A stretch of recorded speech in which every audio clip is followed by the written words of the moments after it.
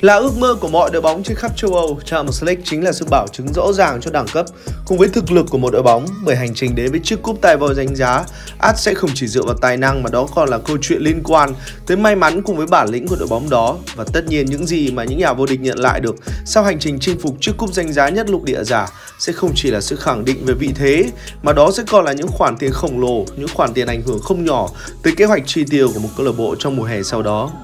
Như đã nói thì bên cạnh chiếc cúp tay vòi danh giá cùng việc cải thiện được vị thế sân chơi châu lục thì những khoản tiền thưởng từ danh hiệu cao quý nhất châu lục ắt sẽ là mối quan tâm hàng đầu của cao thủ cũng như mọi câu lạc bộ.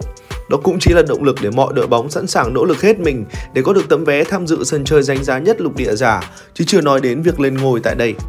So với việc phải dốc hết sức ở đấu trường quốc nội với những cuộc đua dài hơi tiềm tàng nhiều rủi ro, thì việc dồn toàn bộ nguồn tài nguyên vào đấu trường Champions League hoàn toàn có thể là phương án hợp lý của nhiều đội bóng không có cho mình lực lượng đủ dày. Ở một sân chơi mà các đối thủ không thể thấu hiểu nhau như những cuộc chiến ở đấu trường quốc nội thì chắc chắn mọi bất ngờ đều có thể xảy ra. Trong một ngày đẹp trời thì một ông vua của Champions League như Real Madrid hoàn toàn có thể phải nhận thất bại trước một đội bóng tí hon như Serif Tiraspol. Điều này có thể sẽ không ảnh hưởng trực tiếp tới cuộc đua vô địch, nhưng đó là ví dụ điển hình cho luận điểm rằng mọi đội bóng đều có cơ hội cho riêng mình ở sân chơi này. Tất nhiên tính cạnh tranh ở một sân chơi như Champions League sẽ là lớn hơn rất nhiều và mỗi đội bóng sẽ cần phải nỗ lực hơn nhiều nếu muốn thực sự có được một kết quả tốt ở sân chơi này. Nhưng để rồi những gì mà các đội bóng có thể nhận lại được sẽ là hoàn toàn xứng đáng với những nỗ lực mà họ đã bỏ ra. Hãy nhìn vào khoản tiền thưởng mà các đội bóng nhận được chỉ bằng việc góp mặt ở vòng bảng của Champions League trong hai mùa gần nhất thì có lẽ đã đủ để hiểu được giá trị mà giải đấu này mang lại là lớn đến nhường nào. Có thể con số khoảng 15 triệu euro sẽ là không quá đáng kể với những đại gia hàng đầu của châu lục, nhưng đây lại có thể được coi là một khoản thu không hề nhỏ đối với những đội bóng tầm trung của châu Âu. Thậm chí nếu đánh giá một cách trực quan thì đây là số tiền có thể vượt qua được giá trị của một đội bóng như Serif Tiraspol, đại diện của đảo Ship từng tạo ra địa chấn khi có được chiến thắng trước Real Madrid. Nhưng có lẽ bạn có thể bất ngờ khi biết được cách phân chia các khoản tiền thưởng của Champions League khi tiến vào những vòng đấu loại trực tiếp, nhất là thời điểm dành cho những đội ở tứ kết hay bán kết. Vì dù có thể cùng lọt vào bán kết nhưng chưa chắc bốn đội bóng mạnh nhất của châu lục sẽ nhận được cùng một khoản tiền thưởng giống nhau cho hành trình của mình đâu nhé. Hãy cùng ngược dòng thời gian một chút về thời điểm diễn ra mùa giải Champions League 2015-2016 khi mà Man City vẫn còn đang được chỉ đạo bởi Manuel Pellegrini. Việc lọt vào tới vòng bán kết của sân chơi danh giá nhất châu lục thời điểm đó có thể được coi là thành công dành cho một tập thể giàu tham vọng và đang vướng tới việc chinh phục đấu trường châu lục với dàn hảo thủ chất lượng của mình. Tuy nhiên đối thủ của Man City lại là một Real Madrid hùng mạnh và luôn sẵn sàng đón nhận mọi đối thủ ở sân chơi mà họ vẫn luôn là ứng cử viên hàng đầu. Sau đó chúng ta đều biết, kênh kênh trắng đăng quang chung vô địch bằng việc đánh bại đội bóng cùng thành phố. Nhưng thật bất ngờ tổng số tiền mà Real Madrid nhận được ở giải đấu năm đó còn thua cả những gì Man City nhận được dù họ đã phải dừng bước ở vòng bán kết.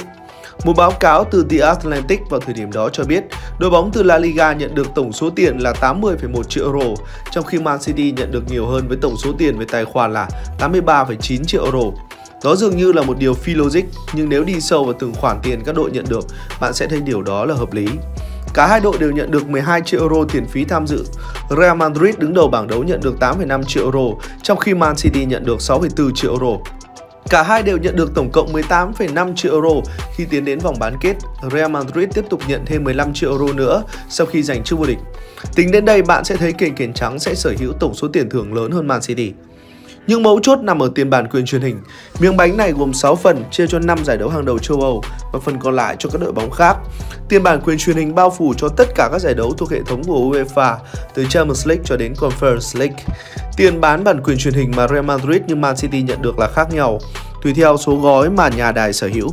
Tại Tây Ban Nha, tổng số tiền bản quyền truyền hình là 89 triệu euro, trong khi ở Anh là 143 triệu euro. Số tiền này sẽ được chia đều cho các câu lạc bộ, càng lọt vào sâu càng nhận được nhiều tiền. Năm đó có tới 5 đội bóng của La Liga lọt qua vòng knockout của hai giải đấu và họ cũng sở hữu hai đại diện giành chức vô địch Champions League cũng như Europa League. Tức là số tiền kia bị xé lẻ ra và Real chỉ nhận được 26 triệu euro từ tiền bản quyền truyền hình. Trong khi Man City là đội duy nhất đi đến tận bán kết, lẽ dĩ nhiên họ được hưởng miếng bánh lớn hơn từ tiền bản quyền truyền hình với tổng giá trị lên đến 46,9 triệu euro. Đó là lý do dẫn đến sự chênh lệch về mặt tiền thưởng, khiến đội vô địch nhận được ít tiền hơn đội bị loại từ bán kết. Trở lại với câu chuyện của năm nay, liệu Inter có nhận được nhiều tiền hơn Man City? kể cả trong trường hợp rủi ro nhất khi họ tuột mất chức vô địch Champions League. Để trả lời cho câu hỏi đó, hãy đến với cơ cấu giải thưởng của Champions League năm nay. Như đã nói ở trên thì riêng việc có mặt ở vòng bảng của Champions League, mùa giải năm nay đã giúp cho các đội bóng nhận được tới 15,64 triệu euro. Nếu vượt qua được giai đoạn vòng bảng cùng với vị trí nhất bảng thì mỗi đội sẽ có thêm 2,8 triệu euro vào trong tổng số tiền mà họ nhận được sau khi mùa giải khép lại. Con số tiền thưởng mà một đội bóng nhận được sau khi vượt qua được vòng 16 đội còn có thể tăng lên tới 9,6 triệu euro. Số tiền có lẽ bắt đầu đã khiến cho kể cả những ông lớn của lục địa giả phải đặc biệt lưu tâm. Vượt qua được vòng tứ kết thì bốn đội bóng xuất sắc nhất của Champions League sẽ nhận được ít nhất là 10,6 triệu euro. Đây cũng sẽ là thời điểm mà chúng ta có thể bàn với câu chuyện được nói tới ở trên khi nói về sự phân hóa dành cho mỗi câu lạc bộ đến từ những quốc gia khác nhau. Ở vòng tứ kết của sân chơi danh giá nhất châu lục mùa giải năm nay thì chúng ta đã thấy được sự xuất hiện của ba đại diện Serie A bao gồm Napoli, AC Milan cùng với Inter Milan. Trong khi đó thì chỉ có hai cái tên tới từ Premier League còn góp mặt ở vòng đấu dành cho 8 đội mạnh nhất là Man City cùng với Chelsea. Do đó chưa tính tới giá trị khác biệt mà ngoại Anh vẫn luôn có được khi mà đây luôn là giải đấu được cả thế giới quan tâm, thì số tiền mà Man City nhận được ở vòng này chắc chắn đã là lớn hơn so với Inter Milan vì số lượng đội bóng cùng tới từ một giải đấu quốc nội. Cho tới vòng bán kết dành cho bốn đội mạnh nhất thì vẫn còn có tới hai đại diện của thành Milan nói riêng và của Serie A nói chung. Trong khi đó thì Man City chính là cái tên duy nhất còn sót lại của Premier League khi xuất sắc vượt qua Bayern Munich ở vòng tứ kết trước đó. Đây cũng là một yếu tố nữa để giúp cho đoàn quân của Pep Guardiola gia tăng khoản tiền thưởng mà họ có thể nhận được sau khi mùa giải Champions League năm nay khép lại. Nhưng có thể gần như chắc chắn rằng cả Man City lẫn Inter Milan sẽ nhận được ít nhất thêm 15,5 triệu euro khi đã góp mặt ở trận đấu cuối cùng của mùa giải năm nay. Để rồi khi mà trận chung kết Champions League khép lại, nhà vô địch của châu Âu sẽ nhận được ít nhất 20 triệu euro so với 15,5 triệu euro mà đội Á quân có được. Tổng kết lại, cả hai đại diện xuất sắc nhất của châu Âu mùa này sẽ nhận được tối thiểu 45 triệu euro cho hành trình tiến tới chinh phục chiếc cúp tài vòi danh giá mùa này. Nhưng nhiều khả năng Man City sẽ là cái tên nhận được con số nhỉnh hơn dù chúng ta chưa biết được kết quả ở trận đấu cuối cùng nhờ vào việc Man City là đội bóng duy nhất của Premier League có mặt ở vòng bán kết mùa giải này. Hay thậm chí ở thời điểm trước đó thì những đại diện khác của xứ sở sương mù cũng đã sớm bị loại khỏi sân chơi danh giá nhất của châu lục. Chính vì vậy, bên cạnh mặt thành tích với cơ hội làm nên cú ăn ba lịch sử thì Man City cũng đang làm rất tốt khía cạnh kiếm tiền khi có khả năng nhận được tổng cộng khoảng 200 triệu bảng tiền thưởng từ cả đấu trường quốc nội lẫn sân chơi châu lục mùa này. Qua những con số khổng lồ trên thì có lẽ người hâm mộ đã phần nào hiểu được rằng cuộc chiến kim tiền của bóng đá thế giới đang ngày càng ảnh hưởng lớn ra sao tới các câu lạc bộ. Những khoản tiền thưởng tới từ cả sân chơi quốc nội lẫn đấu trường châu lục hoàn toàn có thể chiếm một phần quan trọng cho quá trình vận hành lẫn phát triển cho cả một hệ thống của một câu lạc bộ hàng đầu. Do đó chúng ta có quyền kỳ vọng vào việc những trận đấu ở đẳng cấp cao nhất sẽ ngày càng trở nên hấp dẫn hơn, không chỉ bởi màu cờ sắc áo mà còn vì những khoản tiền thưởng béo bở mà cao thủ có thể nhận được sau khi mùa giải khép lại.